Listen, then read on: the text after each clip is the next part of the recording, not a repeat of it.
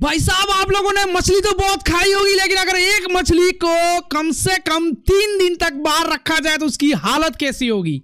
आप लोग को पता है हालत कैसी होगी?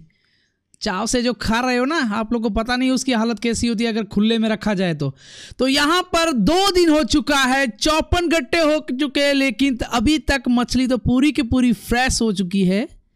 धीरे धीरे अब भाई मक्खियाँ आने लग गई है धीरे धीरे सड़ना चालू हो गई है, लेकिन आँखों से वो देख रही है।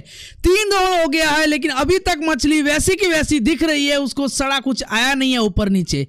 पांचवा दिन स्टार्ट हो चुका है, मछली का पानी ऊपर नीचे ऊपर नीचे आड़ा उड़ा कहीं से भी निकल गया है भाई, मछली पूरी खत्म हो चुकी है।